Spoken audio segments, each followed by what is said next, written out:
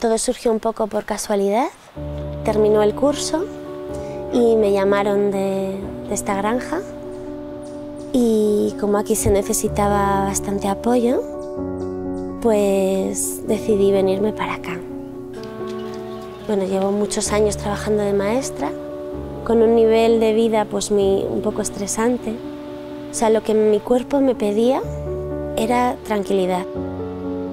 He recuperado muchísima paz, aunque hay muchísimo trabajo, pero vas con una sonrisa constante, es una maravilla y en general hay un ambiente muy bonito, de mucho cariño.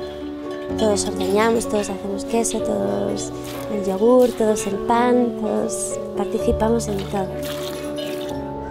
Me siento muy feliz y estoy muy agradecida por ello.